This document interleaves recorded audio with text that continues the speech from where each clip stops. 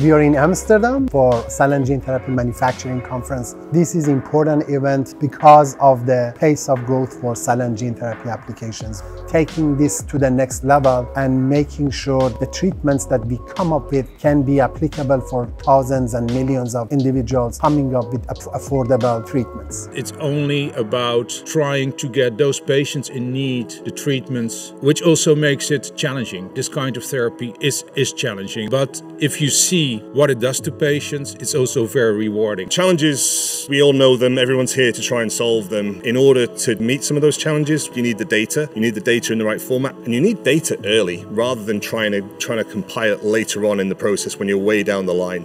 It's a way of bringing everyone together. People are finding the cell therapy arena to be a lot more collaborative. It's really important that we attend these events so that we can find out how we can help each other and the gaps in the market where we need to be. Focus on patients.